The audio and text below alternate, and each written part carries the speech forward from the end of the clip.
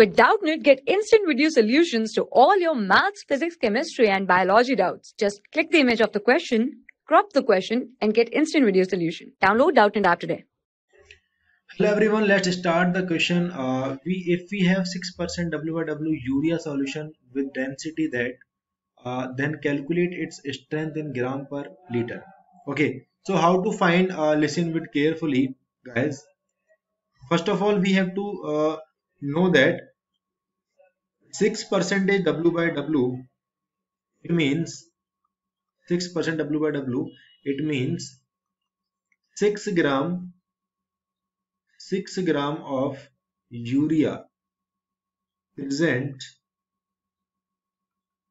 present in 100 gram of solution. Right. So now uh, we have to given uh, density is equals to 1.060 and this equal to mass upon volume. That is mass 100 gram of solution and volume is v. Okay? So we find value of v is equals to 100 divided by 1.060 right?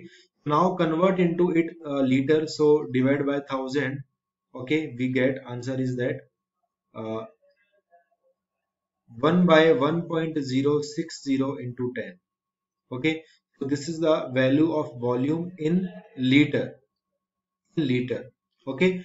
And now we have to find now we have to find uh, value of strength in gram per liter. And gram is here 6 gram. Okay? So our answer will be 6 gram upon liter. That is that is uh, 1 upon 1 upon 1.060 into 10 okay so it will be nothing but it will be 60 into 10.60 that is 63.6 gram per liter this is your correct answer of this question and i hope it is clear to you thank you very much For class 6 to 12, IIT JEE and NEET level. Trusted by more than 5 crore students. Download Doubtnut app today.